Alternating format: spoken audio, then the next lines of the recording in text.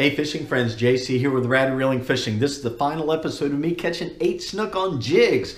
The second best night I've ever had of snook fishing in my life. At the end of this video, I am gonna run through some of the equipment, the line, the way I tie the jigs on, and how I work these jigs, and maybe some of the places that you're gonna find snook and you wanna fish with these jigs. Now, by no means am I a professional at jig snook fishing.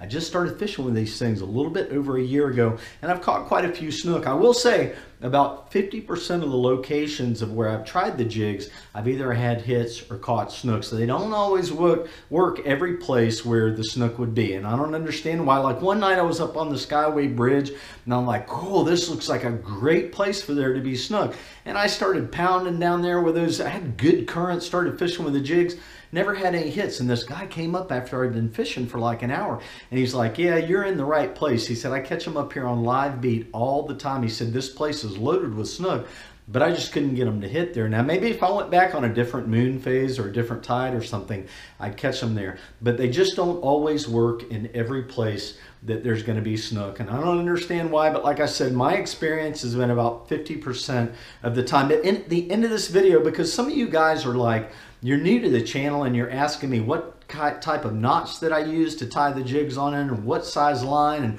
what size rod and how am I working the jigs. And so I'm going to share some of that stuff at the end of this video. But you guys know that I don't share locations or cities. Like the majority of the time, um, I'm keeping that stuff secret. But I tell you the best way to find out what a good fishing, where a good fishing spot is, and that is get out there and just start fishing in different places. You're gonna run into anglers who are gonna share good fishing locations with you. I mean, at breakfast today, I was having uh, breakfast with a friend of mine. We finished breakfast, we're out standing outside, we're talking about fishing stories, and this guy pulls up in his car, he gets out of his car, and he's like, oh, you guys are telling fishing stories. I always wanna hear a good fishing story. We finished talking, and he started sharing some good locations for catching redfish in our area. So, you know, that's just kind of the way it happens. A lot of the great fishing spots that I have have come through just getting out there and going fishing and connecting with total strangers that will tell you where to go fish. They're local anglers and they're sharing this information with local people. Okay, so let's roll these clips, you guys, and at the end of this video, we are going to do this thing. We're going to go through the gear and all the good stuff. So thanks for listening to me ramble. My last jig of the colors that I like to use. This one's the multicolored one. And uh, yeah, Lord, I just pray I don't lose this jig. there he is. There he is. Number seven. Here we go. Oh, I know they all look the same, you guys. But it sure is fun. oh my god. Oh, yeah. Good fish. Another good one. Oh, number friggin' seven. Are you kidding? No way, man. Oh, God. Get a look at this guy. There he is. Look at that. Number seven. Ooh. I think he's about the uh, smallest one of the smallest one of the night there. Still a good one. He's about 24 25 inches. Oh they're getting smaller. Ah this one's going to be easy to unhook so let's get him out of here. Get him back in the water. Nice.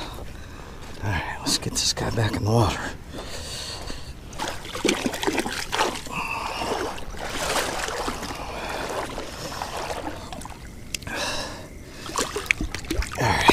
Whoa. It won't take much to revive this guy. Whew.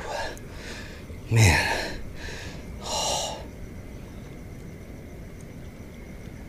Number seven, man. Whew. Look at that. Nice snook, man. Nice snook.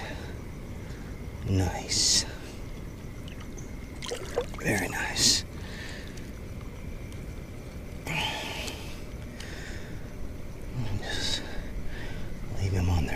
that. He's getting pretty, pretty feisty there. I think he's ready to go. Let's see. You're free, buddy. You gotta go the other way, though. There you go. Nice. See you later, number seven. Into the deeps he goes. Yep, there we go. Number seven. Woo, baby. Dang, double thumbs up. Dang, y'all, 1235. Just released number seven. Let's keep fishing. All right, guys. Woo! Number seven, fishing with jigs. My best night of snook fishing ever with jigs. And uh, that was the smallest one of the night. He was probably 24, 25 inches. And uh, I think my biggest one of the night was probably 34. And uh, man, I'd like to catch a big one here. I sure am having fun. Number seven, are you kidding me? It's not even one o'clock yet. Whoo! Man, this is fun. Oh, we hit it right by the pilings. Right next to the pilings. Another good one. He's jumping. Oh, oh, oh yeah. There we go. He's a fighter. He's another fighter.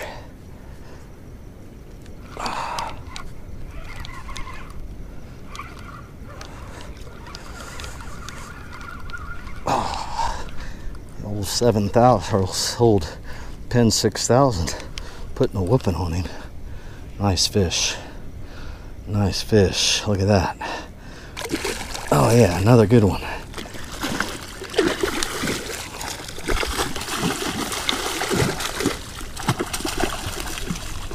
It's number number eight.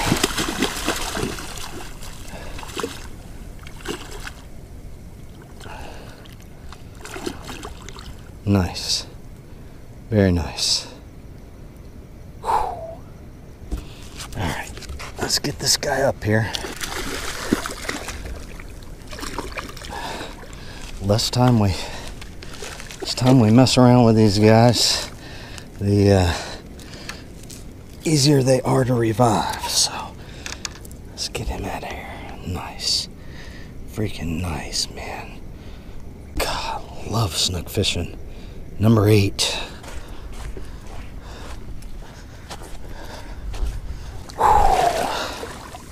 Dang, boy. That's number eight. Come on. You gotta go the right way, though. There he goes. 12.59, guys. I just released that snook. Number eight. All right, so that was number eight. Whew. Nice. So I am convinced, you guys, that if I was bass fishing right now, I would be saying that the snook are staged in this area and they are feeding because they're getting ready to spawn during the months of June and July. We are in uh, almost mid-May and uh, the snooks are coming out of the creeks. They're in the intercoastal waterways and they're heading to the inlets and the beaches right now to uh, get hooked up to spawn. But uh, man, what a freaking night. Oh my gosh, are you kidding me? Eight snook on jigs.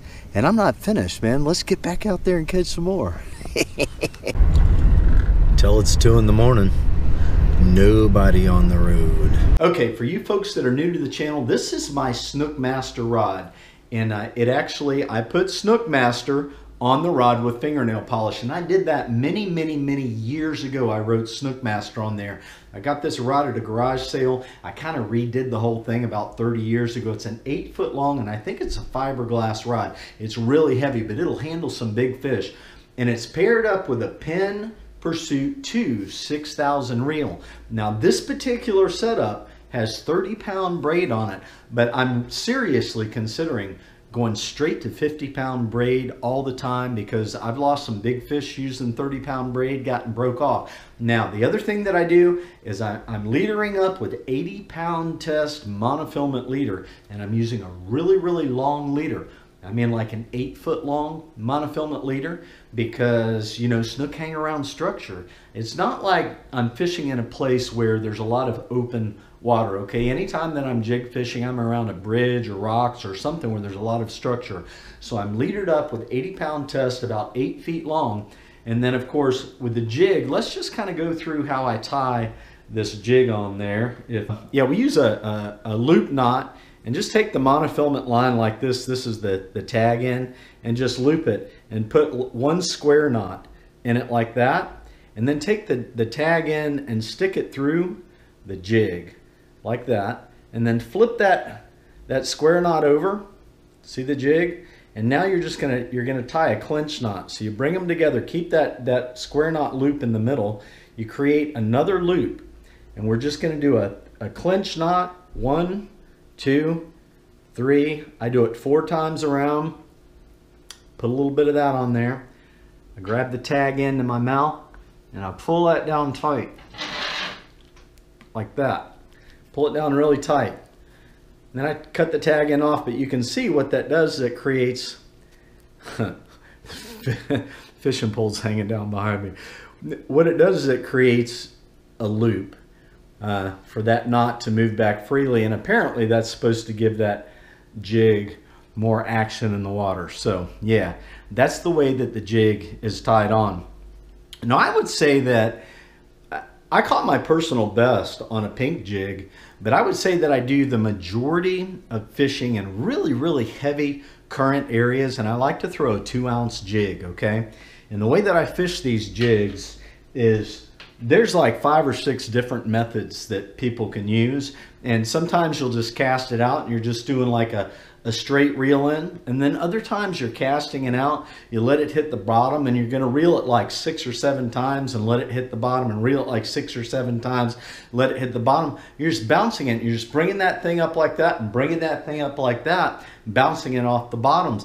Um, sometimes it's just like a, a straight burn just like really really really fast as fast as I can but I'll encourage you guys to just get on there and do your research on the internet. There's some people that have made some good videos about about how to how to like work these jigs. There's one person that just went through the exact methods of how they they with a rod tip they do like a pop pop thing and a pop pop thing and there's just you know come up with your own way man just like fish it a lot of different ways until you figure out what's going to work in the area where you're fishing like i have one area where i fish by a bridge and i'm on the seawall and, and the bridge is like really close and i cast this thing as far as i can cast it along the bridge but the current is running back under the bridge and I can't let that thing go for too long because I'll end up wrapped up in the pilings. So I really, I'm casting it out there and I'm just reeling it fast. I'm just like reeling it and let it hit the bottom, reel it. I reel it about 10 times, let it hit the bottom, reel it about 10 times, let it hit the bottom. And I just don't want it to get hung up in the pilings and the snook in that area, well, they'll just slam it there. And then I have other places where I fish with these things and it's just like a like a one bounce on the bottom, just boom. And then I just reel it like once and it's like boom. And I reel it once and it's just boom, boom, boom. And I'm letting that thing just bounce on the bottom. So um, yeah, sometimes along the bridge shadows, I'll just burn this thing along the bridge shadows like really fast and, and get a reaction strike. So the snook will hit these things. You just work them in a lot of different ways. Figure out how they want it and the place that you're fishing and when you know you got to pay attention to how you're working that that lure a lot of times with my videos, like I'll catch a fish and I'm like, oh my gosh, I forgot how I was like working the lure at that time that he hit it. And I'll look back at the video footage and I'll actually see. So, all right, guys, so that that's it. I'm using uh, like a 6,000 spinning reel, a seven and a half to eight foot long rod. My other snook rod is the seven foot rod. Then I've got another one seven and a half foot. Um, 30 to 50 pounds. Some people even use use heavier braid line than that. And I'm using 80 pound leader. I have a friend of mine that uses, I think like up to 120 pound or something leader. He fishes for some really, really monster sized snook in some areas where there are monster sized snook. So, but I found 80 pound works pretty good for me. The biggest snook of my life, I didn't have my camera with me and uh, yeah, wore through 80 pound leader right in front of me. And yeah, that night I was wishing I would have had about a 100 pound test on there to land that one, but it was kind of discouraging because I didn't have my video with me. You're going to find snook around bridges and rocks and structure and places where the current is ripping, where there's straight drop off areas along the edges of flats. They're waiting for bait to come by around points and drop offs at the beach and just you're going to find snook hanging out in places where they can ambush prey, where they can like hang out in the current and wait for the bait to come by them. Sometimes they'll get off kind of in a little slack area, but the current will be ripping in front of them and uh, they'll shoot out and grab that bait. Definitely around lights and shadows. So make sure that you check out my video where I go through like a ton of different snook fishing tips and I actually talk even more in depth about locations and places where you're going to find snook hanging out in. But anyway, guys, so that's pretty much it. Like, I don't know what else to tell you, but thanks for watching this video and thumbs up are appreciated. And if you're not a subscriber, please subscribe and everybody click that bell icon. You guys upload videos all the time. Get out there and go fishing, man. Life is fun. You got to live it. See ya.